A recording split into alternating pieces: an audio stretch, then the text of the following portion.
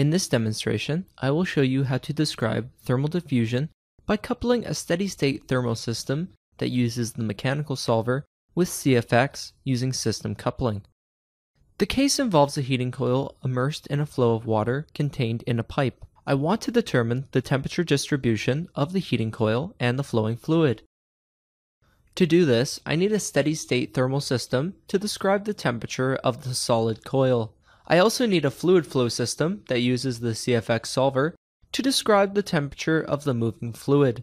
Finally, I need system coupling to transfer data between each system so I can accurately model the exchange of heat between the flowing fluid and the solid heating coil. The fluid flow and thermal simulations have been set up. For this demonstration, I will review the settings pertaining to a coupled analysis in each system. In the thermal system setup, we can see that only the coil has been meshed, the container geometry has been suppressed. The initial temperature of the coil has been set to 250 degrees Celsius. This will be the coil's temperature during the first iteration of the mechanical solver.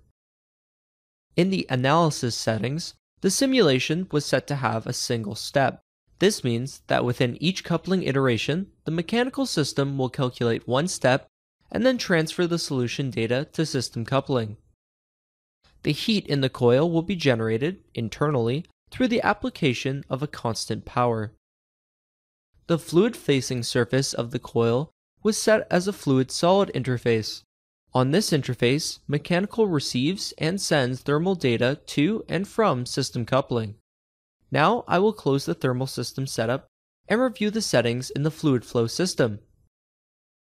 As we can see, the mesh for the entire assembly is present. Under analysis type, we can see that the simulation is set to steady state.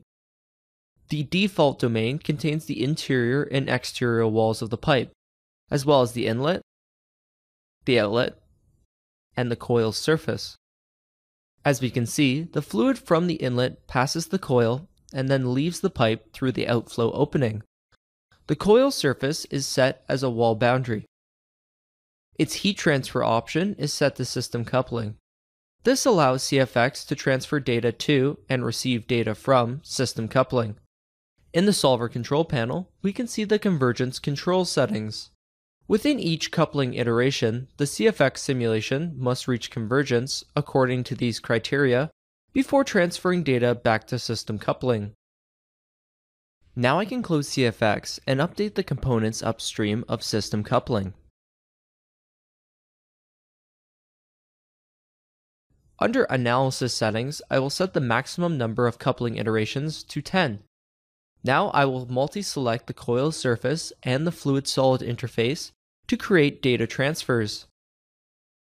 This creates three data transfers. The first data transfer serves heat transfer coefficients from the coil surface to the fluid-solid interface.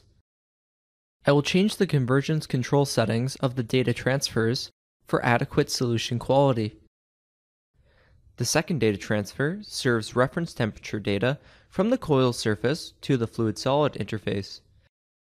The third data transfer serves temperature data from the fluid-solid interface to the coil surface. Now that the appropriate data transfers and convergence criteria are set, I will update the solution. All three data transfers have converged and the solution is ready for post-processing. I can analyze the solution in CFD Post by linking the solution cells to a single result system.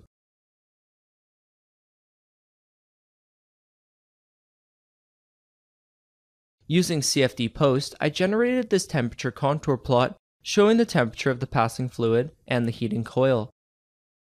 This concludes this demonstration, showing you how to use two-way system coupling to describe the temperature of a flowing fluid in a pipe with a submerged heating coil.